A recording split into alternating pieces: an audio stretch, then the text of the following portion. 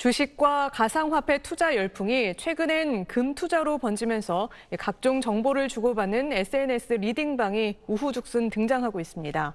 이 금 투자 리딩방에서도 역시 사기 행각이 늘고 있습니다. KNN 박명선 기자입니다. 30대 여성 김모 씨는 최근 카카오톡 단체 채팅방에 초대됐습니다. 투자 전문가라는 사람이 금 투자를 알려준다며 가입을 권유했고 채팅방에는 수익을 냈다는 계좌 인증도 올라왔습니다. 10만 원을 먼저 넣었고 그 10만 원 넣은 거에 대한 이익금으로 뭐 17만 원을 돌려받는 이제 성식 leading이라고 투자를 하게끔 만들어 김 씨는 이후 300만 원을 입금했고 시키는 대로 금을 사고 팔았습니다.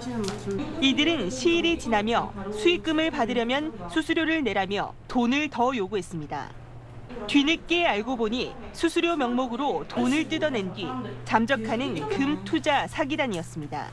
사기라는데 어떻게 된 거냐 이러니까 어처구니 없는 소리네요 라고 말, 말을 하더라고요. 제가 그러면 사기가 아니면 341호도 그냥 돌려달라 이러니까 그때부터 이제 연락이 없던 해당 사이트는 얼마 뒤 흔적도 없이 사라졌습니다.